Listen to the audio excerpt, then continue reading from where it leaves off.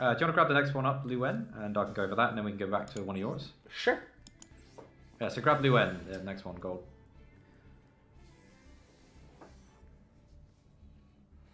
Yeah, there was a lot of things that Tri Brigade opponent could have done, but he didn't even know what Update Jammer did. So, alrighty, we have the Dark Oh yeah, Magician opponent playing opponent. Drytron. You can usually tell because they play the ritual field uh, as well.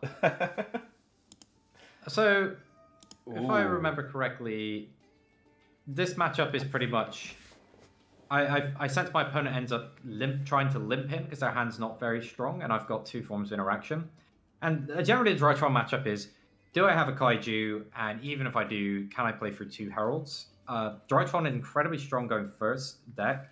I kind of struggle to see how they play into an established field, but I've never actually tried to play the matchup on the other side because I always go second and they always go first. The thing with them So- going second is that all of the effects activate in the hand or graveyard and permeate in that way. Uh, similar to like Conquistador, even if skill drains face up, it summons as a trap and then still pops from that trap effect.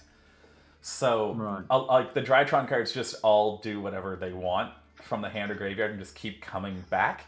And like they can play through up to five interrupts because there's so many names. So even though if you have something, they just keep pushing. The key to stopping the deck is cutting them off from Benten, actually. Which is incredibly hard to do. Yeah.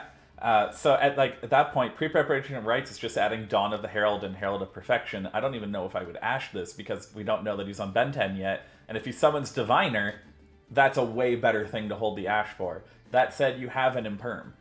Yeah, yeah. So I this is kind of early on when I was still getting to feeling out the Drytron matchup, and I figured if he if he just snaps a Herald like early on, then I'm gonna just like not have any interaction with the rest of his field as he sets up. So I do actually ash here, but you're right. In most situations, it'd be more of a make more sense to hold back for the diviner. But you can see what actually happens if you just want to hit play. Yep. So this cuts. I mean, this ash is cutting him off from two cards. He's only got three left in hand because he set a card before playing his pre-prep, and he plays regular prep and gets to Benten anyway because sad. And there's a diviner, so down comes Imperm. But he's already again when he's already on Benten. I don't know that I would use this negate here. Now the most threatening thing he can do is make that rank one, and it, you could have held Imperm for the rank one.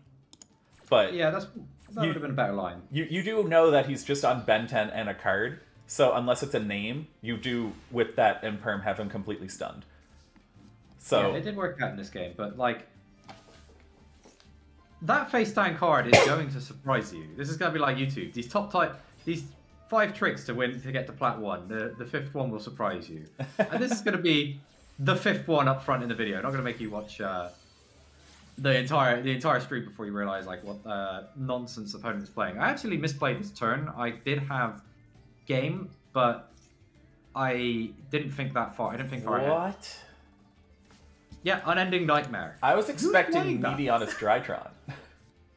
Yeah, I mean, it's probably to, to stop Imperial Order. Somebody's probably just gotten a little bit annoyed. I, But don't that's you just get the field spell from my thought. back? Like, Because he just destroy it again. It's kind of what, what logic I had in my head. But I realized, like, It- I could have made my opponent destroy three of my field spells, pay 3,000 life, and then I can kill them through their monster. yeah. I mean, it's not a bad idea, I suppose. Wow. Like, I kind of... I played this a little bit wrong, to be honest. So there was a lot of things I could have done different. Yeah, so I ended up making a scuffed access code talker because I can't get access to my field spell. But I would have been fine because my opponent would have paid 3,000 life points to keep my field spells off. So I could activate the one from my hand, he destroys it, get it back from the grave, he destroys it, activate the one from my hand, he destroys it, puts him on 5,000, gives me enough to kill him. And I just don't. You also could have access code talker popped it and then played the field spell and summoned yellow and yeah, got a reborn spell and kept pushing. Yeah, I'm trying to think. I'm trying to think of why I. Yeah, no, I did clear out, and You, then you, you could have done it in main phase one though. Like, I, I mean, you're going for the eye contact draw three, and that's fine. I'm he. You Yeah. know he's on Benten and a blank, so his top deck better be huge. And you drew into a Yeah. kaiju, so now it doesn't matter what his top deck is. yeah, I, I, there was a Oh, lot it's a pretty good draw. Wow. Okay, that's about the best thing it could have been was alpha. Yeah, I could have played this matchup a lot better. Uh, and it's, it's kind of like it's been a bit of a learning process to to get over this because Drytron is a deck I've seen quite a bit of, but the majority of what I've been playing is, uh, is against uh, Tri Brigade variants. That seems to be the most popular. Mm-hmm. I don't know why uh, why the Tri Brigade. It's just I think because it's just got it's got good matchups in every situation. I think it's think because it's the current TCG format deck. The the cards in the most recent TCG set uh, for the Tri Brigade stuff are actually in Master Duel. Like there's cards from November of 2021 in Master Duel, like all those Tri Brigade, all the Lyrilusc cards. So like people who are coming from physical to Master Duel, they can't play the Tenyi variants, the uh, Sword Soul decks, and they can't play any of the Destroy Phoenix Enforcer stuff, but they can just very easily horizontally slide into their exact deck list for Tri Brigade Lyrilusc. All the cards are there. So all the combos they've been playing on various other sims and at their local tournaments and stuff, they literally can just play it on Master Duel.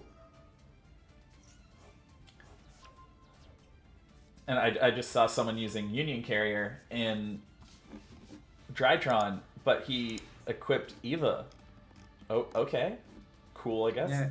Like, can't respond to access code talker anyway, so yeah, I, it just. This is not how you play. It's okay. Anyway, I mean it was it was gold. It was just after everybody got demoted. It was like one of my early. I have since played against much stronger Drytron players. Uh, we just give them the kaiju. yeah, why wouldn't you kaiju the Beatrice? Uh, it- it doesn't really matter because I can just swing over my kaiju and I win. Yeah, I, I, I was just. Oh, I mean, yeah, I mean, I could have. Um, Yeah, access code can just pop the thing and he can't chain to it. So if you kaiju the Beatrice and then just pop his Herald. yeah, yeah, I could have. I could have done it that way. There was a lot of things I would have done differently if I replayed this match. No, what I know now. Uh, we we squeezed out a win. I thought this was a good replay to include because it sort of showed like my earlier lines of thinking with this Yeah. and how I've approached the matchup uh, itself has actually changed quite a bit.